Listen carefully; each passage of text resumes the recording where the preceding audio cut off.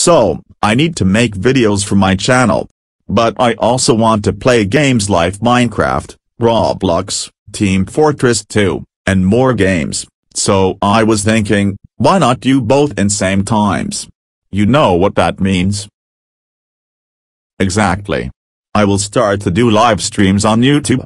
I might do a test stream this afternoon or tonight, we will see. So yeah that was the new, see you on the next stream. This color panel is so cool. Stop that.